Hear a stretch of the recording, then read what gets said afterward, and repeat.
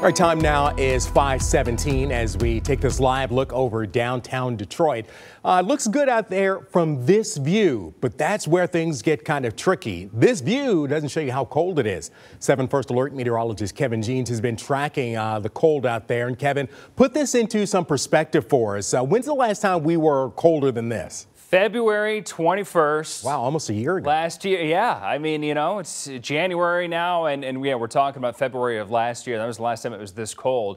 And right now it's just zero degrees in Lapeer. Not the wind chill, but the actual temperature is zero in Lapeer. Adrian, six degrees, Howell, two, and Pontiac, seven degrees. Now, I'm also going to put on here the coldest it's been so far this season before today. So before today, the coldest at Metro Airport was 20 degrees. That was these are all from um, about mid-December, uh, but it's 12 degrees now. Lapeer just dropped, as I'm speaking, just dropped below zero, minus one right now in Lapeer.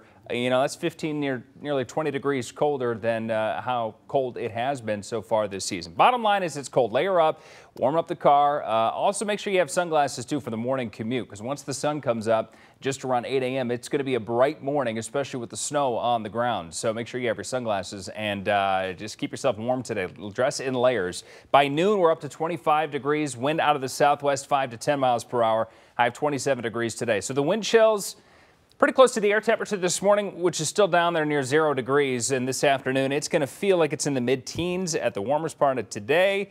And uh, then tonight, our temperatures fall to the upper teens. It's not going to be as cold tomorrow morning, but we will be in the teens which is at least closer to average, but it's going to be a cold start again tomorrow. And then tomorrow afternoon, highs climb back into the mid 30s. So we'll be above freezing tomorrow afternoon. Mostly sunny still in the morning, but more clouds tomorrow afternoon. Next chance of snow or rain will be Wednesday, and some light snow is possible. Better chance of some accumulating snow is going to be over the western side of the state, so we might just get a dusting from that Wednesday. Thursday, an inch of snow also possible. It would be minor accumulations, fairly light. Bulk of that storm system stays east of us, but then it gets breezy and, and colder air filters back in Thursday and Friday with highs back into the 20s. We'll have highs back into the 30s, it looks like Saturday and Sunday.